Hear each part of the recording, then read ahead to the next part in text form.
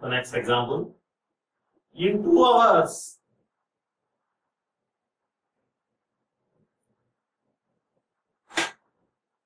in two hours, minute hand rotates dash. According to our theory, one hour carries 30 degrees. So two hours means 2 into 30 degrees, 60 degrees. That is the answer. That means in 2 hours, minute hand rotates 60 degrees. Okay. Next, next example.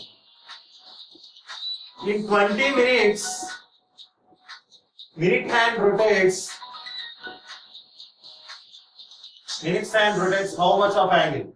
So, in according to our theory, minute hand per minute is 6 degrees. We want 20 minutes. How much? So 20 into 6, 120 degrees.